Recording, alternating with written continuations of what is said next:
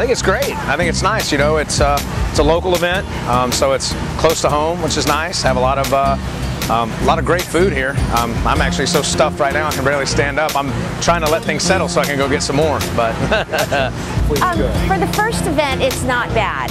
Um, everybody's going to talk about the great food and service they had. Uh, it's a beautiful piece of property to have it on. So hopefully next time they'll be coming in for us. For the city of Lutz, I, I think we have great potential here. I think it's a great community community that's family oriented, and I think there's a lot of potential for First Fridays in 2014. Come out, support your community, have some tremendous food. Don't cook on a Friday night. You don't have to. Let us do the cooking for you. Getting to spend the night with neighbors and friends whom I have not met yet, and everyone's just introducing themselves and having a great time, and that's really what makes it so special.